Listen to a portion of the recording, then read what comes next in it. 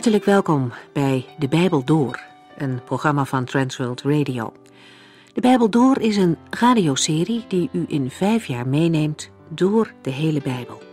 Van Genesis 1 tot Openbaring 22.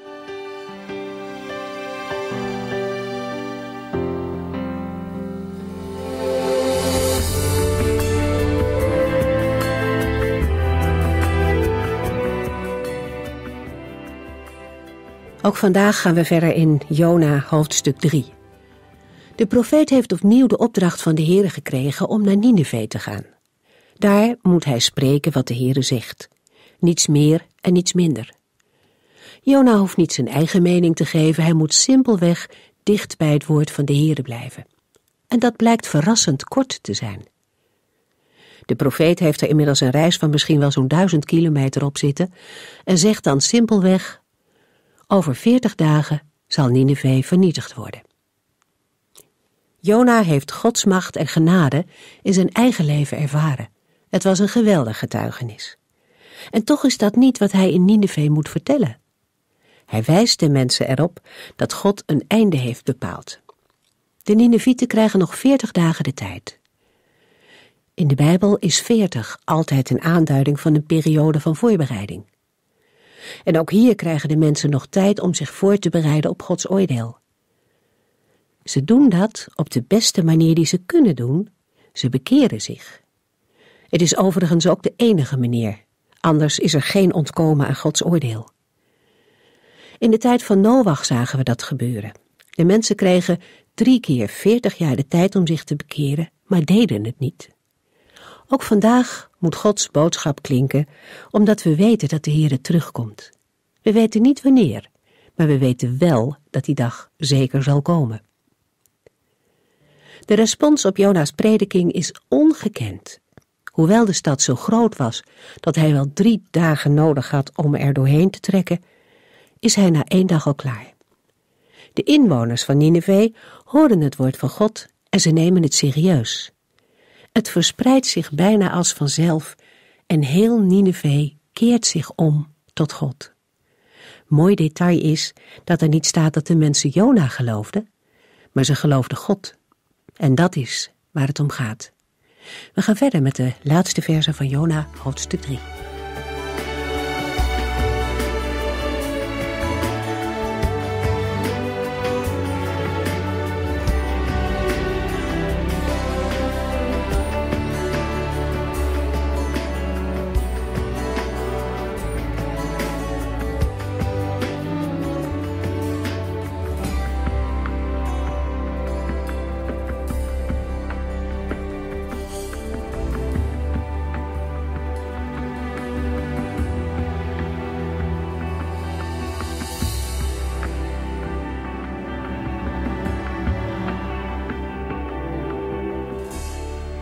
De vorige uitzending kwamen we al even op het punt of de bekering van Nineveh wel een echte bekering was. Was het niet de indruk van het moment? In Matthäus 13 legt de Heer Jezus aan zijn leerlingen de gelijkenis van de zaaier uit. Jezus zegt in Matthäus 13, vers 18 tot en met 23: Met het voorbeeld van de boer die ging zaaien, bedoel ik dit.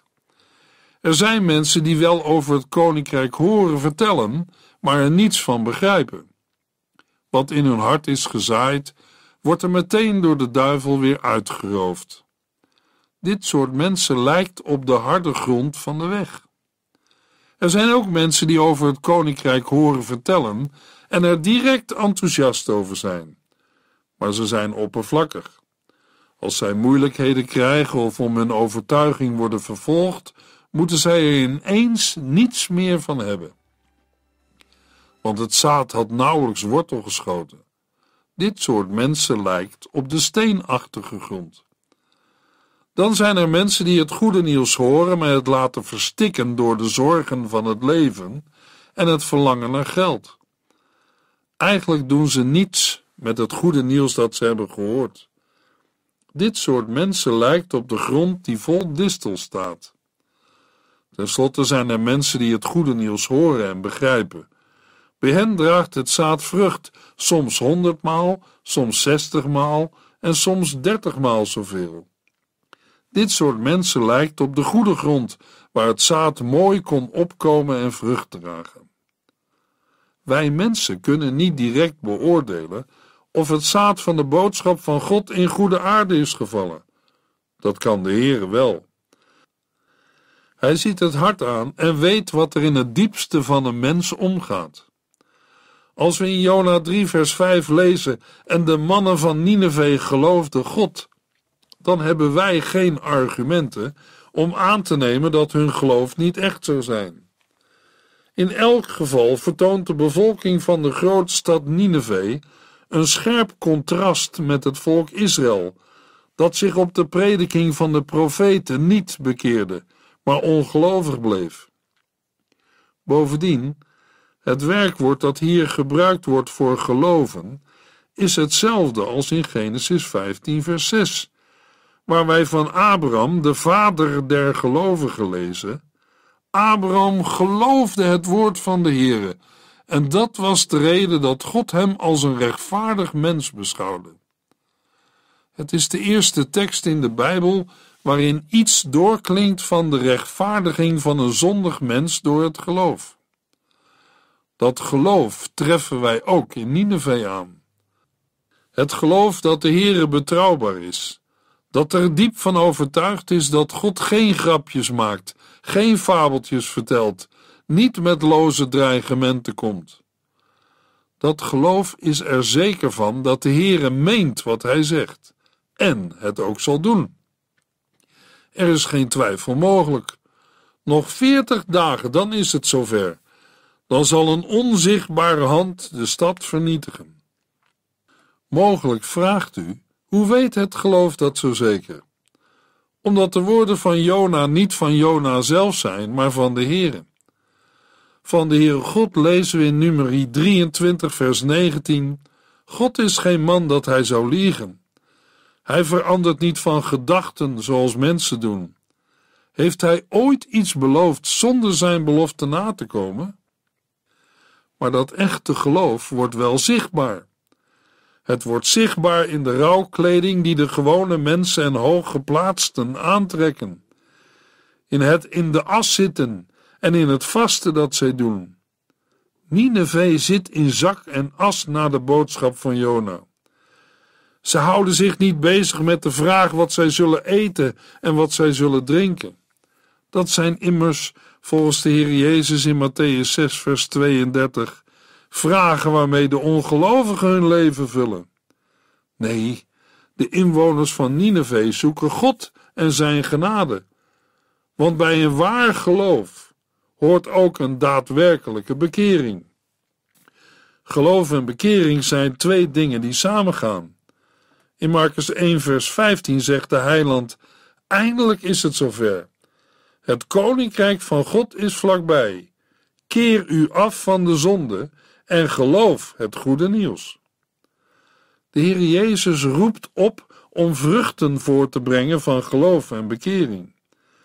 En zijn apostelen blijken door het werk van de Heilige Geest goede leerlingen van hun meester te zijn als zij de boodschap verkondigen van bekering tot God en geloof in Jezus Christus. De bewoners van Nineveh bekeren zich van hun boze wegen. Hun leven verandert. Zij breken met verkeerde gewoonten en persoonlijke zonden. Maar is dat bij iedereen een blijvende verandering geweest? Waarschijnlijk niet, omdat Nineveh nu wel gespaard wordt, maar we bij latere profeten lezen over de verwoesting van Nineveh. Als geloof en bekering geen werk van God zijn, zijn ze niet blijvend. Er is ook voor ons alle reden voor een ootmoedig gebed tot de Heere. Heere, houd u mij vast. In de volgende generaties zijn inwoners van Nineveh teruggevallen in heidendom en hoogmoed. Want na enkele decennia ziet Nineveh eruit alsof Jona er nooit met de boodschap van God is geweest. En alsof de inwoners zich nooit tot de Here hebben bekeerd. Er is dan niets meer van Nineveh over dan een wildernis in een dorre woestijn. Gods genade en barmhartigheid is zeer groot, maar het ontslaat mensen niet van hun eigen verantwoordelijkheid om in de Here te geloven en naar zijn instellingen te leven. Ook in ons land zijn steden en dorpen waar de boodschap van het evangelie van Jezus Christus op een indrukwekkende manier heeft geklonken, soms jarenlang. En wat is er generaties later nog van over?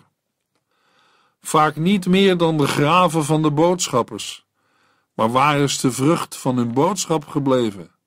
Nee, dat ligt niet aan de boodschap of de God van de boodschap, maar aan het geloof van de ontvangers en het voorleven aan hun nakomelingen.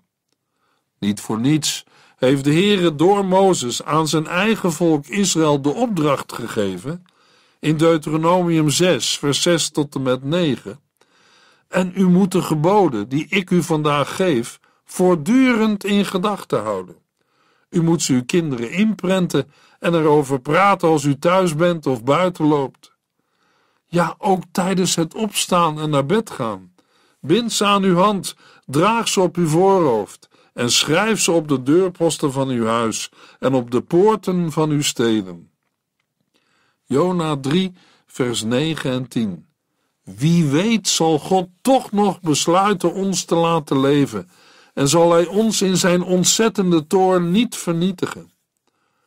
Toen God zag dat zij een eind hadden gemaakt aan hun misdadige gedrag, veranderde hij van gedachten en voerde de straf die hij had aangekondigd niet uit.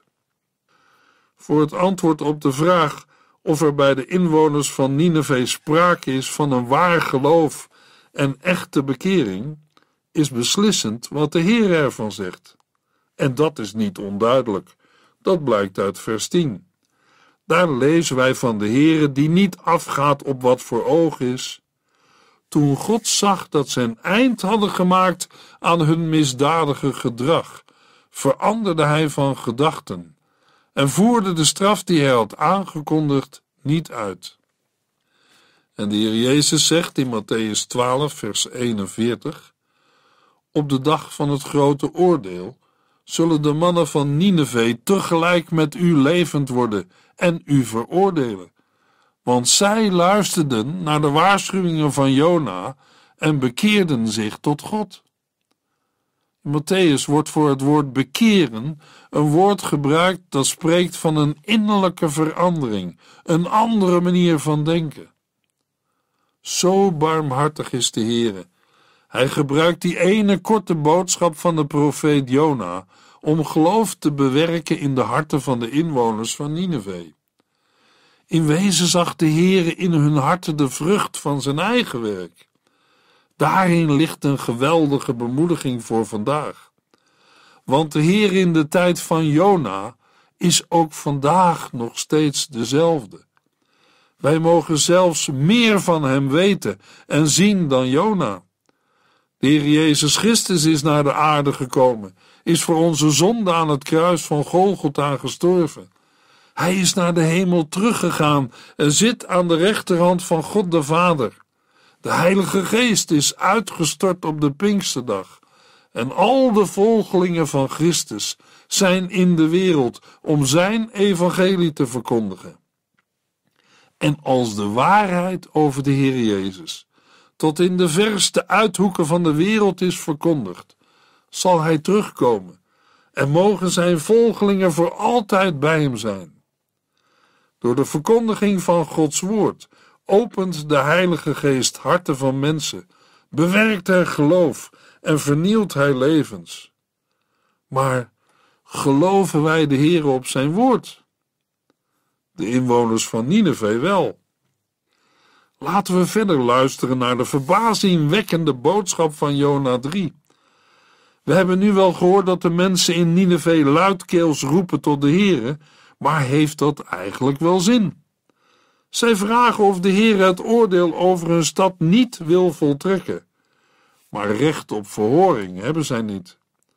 We lazen in vers 8 de oproep: laat iedereen zijn verkeerde wegen verlaten en alle onrecht afzweren. En een belofte om op de pleiten hebben ze ook niet. Jona heeft het duidelijk genoeg gezegd. Over veertig dagen zal Nineveh worden vernietigd. Ze kunnen erop wachten. Kunnen ze wel op verhoring rekenen? Dat weten de inwoners van Nineveh niet. Zij kunnen alleen maar als veroordeelden om gratie vragen, om een onverdiende gunst. Maar genade is nooit vanzelfsprekend. Genade is een wonder. De inwoners van Nineveh hopen op dat wonder. Dat horen we in de woorden waarmee vers 9 begint. Wie weet, zal God toch nog besluiten ons te laten leven en zal Hij ons in zijn ontzettende toorn niet vernietigen. Eigenlijk zijn deze woorden heel merkwaardig in de mond van mensen die leven in het twee-stromenland rond de Eufraat en de Tigris. Uit andere Bijbelboeken en ook uit buitenbijbelse bronnen weten wij dat de Assyriërs sterk leefden bij de onveranderlijke loop van de sterren, waarin het hele leven naar hun overtuiging vast besloten lag. Vanuit hun eigen godsdienstige overtuiging zouden zij heel anders hebben gereageerd. Dan zouden ze zeggen: Als de goden dit van plan zijn, is er toch niets meer aan te doen. De woorden wie weet zijn geen bewijs van een heidens denken dat niet weet van de onveranderlijkheid van de Heere God. Het is een nieuw bewijs van bekering, bekering van de dode afgoden tot de levende God. Maar dit te zeggen roept direct de vraag op: hoe hebben de inwoners van Nineveh ontdekt dat de Heere anders is dan de goden die zij dienden? Op die vraag geeft de Heer Jezus het antwoord als hij in Matthäus 12 spreekt van het teken van Jona. De weg van Jona was een teken. Het zette de boodschap van Jona in een bijzonder licht. Dat betekent dat de mensen in Nineveh de geschiedenis van Jona moeten hebben gekend. Dat is niet zo vreemd.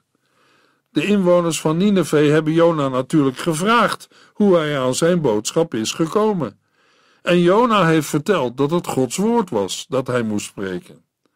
Hij zal ook verteld hebben dat hij in eerste instantie niet naar Nineveh wilde en dat de Heere zijn God ervoor gezorgd heeft dat hij nu toch door de straten van Nineveh loopt om Gods boodschap te verkondigen. Wij hoeven niet te fantaseren om te bedenken dat in het antwoord dat Jona geeft, hij ook heeft verteld van de grote vis. En toen de mensen hem vroegen waarom de Heere wilde dat hij naar Nineveh ging, en hij zelf niet, was het hoge woord eruit gekomen.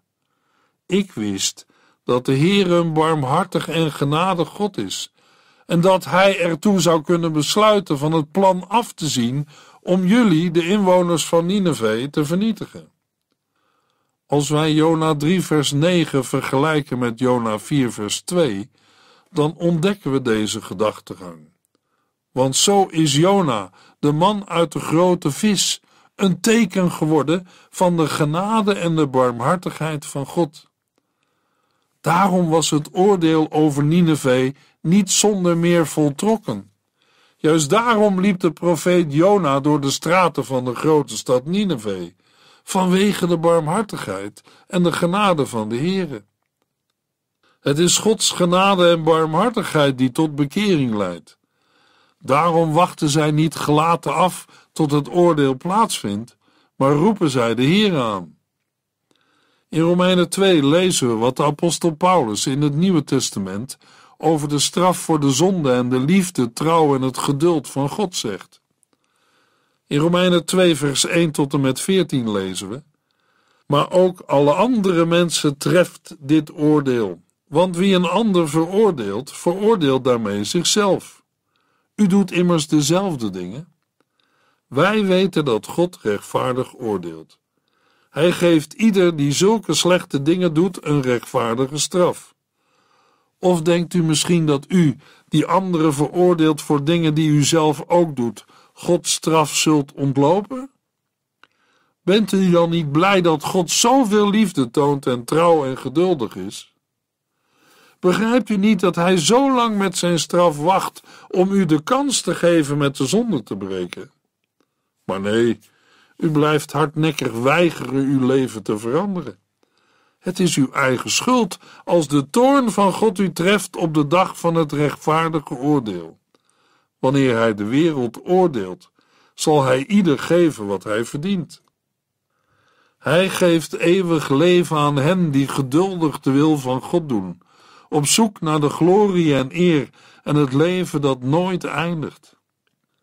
Anderzijds zal hij zijn strenge straf laten neerkomen op hen die alleen maar aan zichzelf denken en die, in plaats van zich aan de waarheid te houden, onrecht doen. Wie liever kwaad doet, zal leed en ellende te verduren krijgen. Dat geldt voor iedereen, niet alleen voor de Joden, maar ook voor alle andere mensen. Maar ieder die het goede doet, zal door God worden verhoogd en vrede ervaren. Ook dat geldt niet alleen voor de Joden, maar eveneens voor alle andere mensen. Want God maakt geen onderscheid. De mensen die de wet van God niet kennen, gaan verloren zonder dat er naar de wet verwezen wordt. En de mensen die de wet van God wel kennen, worden door de wet veroordeeld. Om voor God vrij uit te gaan, moet u doen wat Hij wil, of u zijn wet nu kent of niet. Hoewel er veel volken zijn die de geschreven wet van God niet hebben, doen die van nature toch wat God wil. Daaruit blijkt dat zij weten wat goed en kwaad is. Het teken van Jona gaf hoop op Gods barmhartigheid.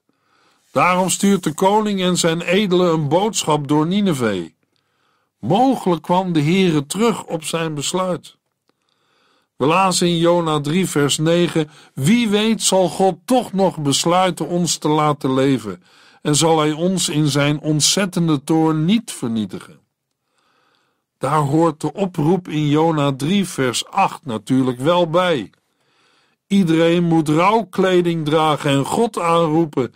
Laat iedereen zijn verkeerde wegen verlaten en alle onrecht afzweren. De Heere zal niet van gedachten veranderen als wij mensen doorleven op verkeerde wegen en onrecht blijven doen.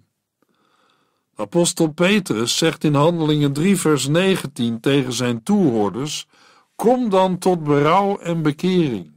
Dan zal de Heere, die genadig en barmhartig is, u zijn vergeving en verzoening schenken. Daarmee mogen de lijnen worden doorgetrokken naar het Nieuwe Testament, naar de Heer Jezus Christus, die van zichzelf heeft gezegd: Maar hier staat iemand die meer is dan Jona. De Heer Jezus is drie dagen en drie nachten in het hart van de aarde geweest, opdat een ieder die in hem gelooft niet zou sterven, maar leven. Dat is de weg voor wie buigt onder de oproep: Kom dan tot berouw en bekering. Als een mens daar niet schouderophalend aan voorbij gaat, of ermee spot, of in valse rust denkt dat hij of zij niet bang hoeft te zijn en rustig kan gaan slapen, Immers, je geeft toch iedereen het zijne en probeert met de meeste mensen de vrede te bewaren? Dan is het mogelijk dat de Heer afziet van het plan zijn aangezegde oordeel uit te voeren. Want zou Hij, die zelfs zijn eigen zoon niet heeft gespaard, ons met Hem niet alle dingen schenken? Christus Jezus is immers voor ons gestorven. Wat nog belangrijker is, hij is uit de dood teruggekomen en zit aan de rechterhand van God, waar hij voor ons opkomt.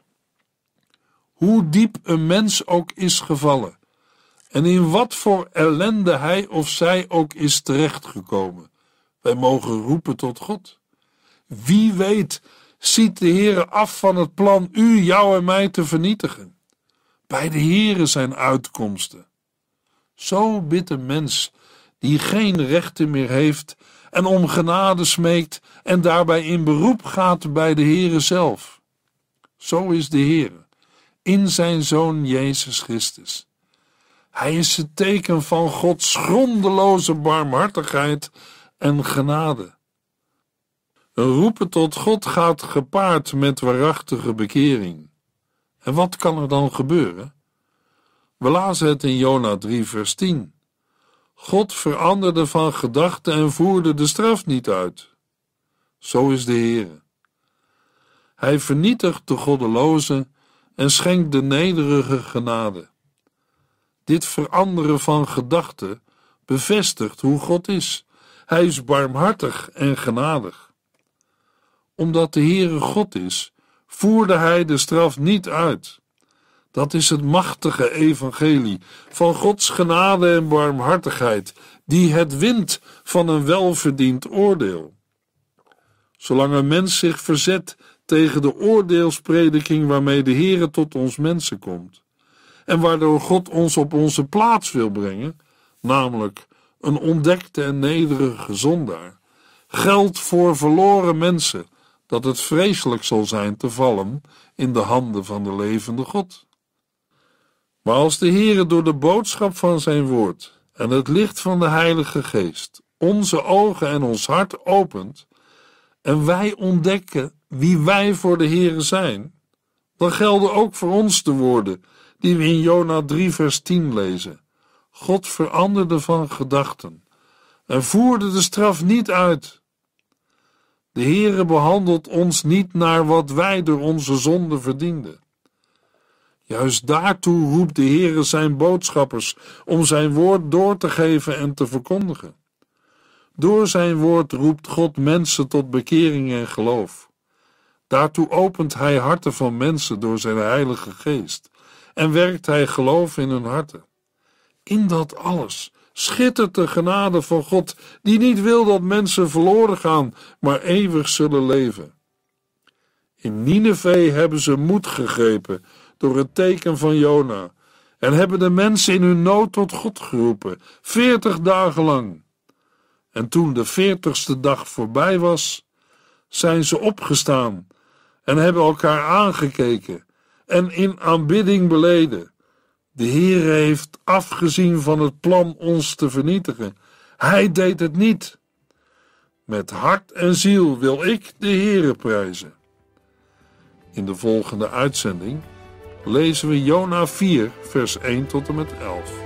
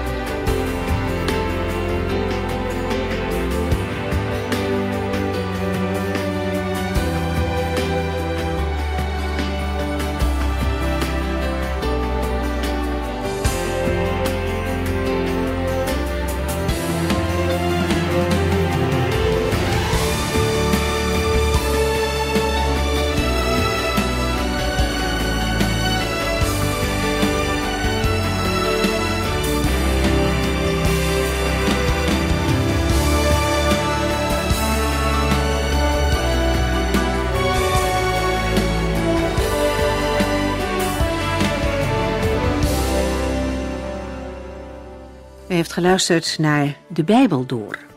In het Nederlands vertaald en bewerkt door Transworld Radio. Een programma waarin we in vijf jaar tijd de hele Bijbel doorgaan. Als u wilt reageren op deze uitzending of u heeft vragen, dan kunt u contact met ons opnemen. Tijdens kantooruren kunt u bellen op 0342 47 8432. 0342 47 8432. 32. Ook kunt u een e-mail sturen naar de Bijbel door transworldradio.nl en natuurlijk kunt u ook via de post ons bereiken. TWR, postbus 371, postcode 3770, AJ in Barneveld. Dit programma werd gepresenteerd door Corweda en Ike André. Techniek was in handen van Odin van Woerdenkom. En namens ons allemaal bedanken we u van harte voor het luisteren.